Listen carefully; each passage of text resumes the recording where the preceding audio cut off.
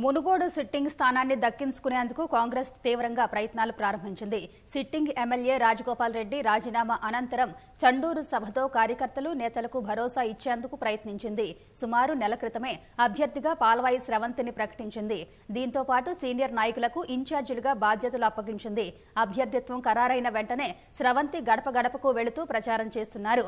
Revanth Reddy road show ద్వారా నియోజకవర్గంలో ప్రచారం నిర్వహించారు. ఉప ఎన్నిక షెడ్యూల్ విడుదల కావడంతో ఇవాళ గాంధీ భవన్లో ముఖ్య నాయకుల సమావేశం జరగనుంది.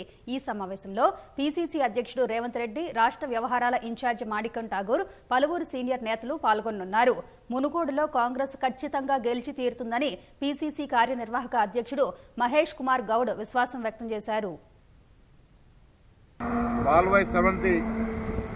ఆ నియోజకవర్గంతో దాదాపు పదిహేను సంవత్సరాలుగా సంబంధం ఉన్నటువంటి అభ్యర్థిని. డెఫినెట్గా కార్యకర్తల బలంతో ఈ ఎన్నికల్లో గెలిచి తీరుతాం.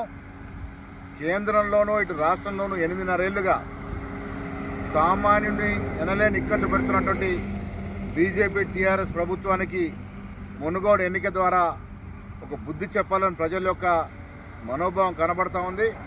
డెఫినెట్గా ప్రజలు కాంగ్రెస్ పార్టీని ఆదరిస్తారు.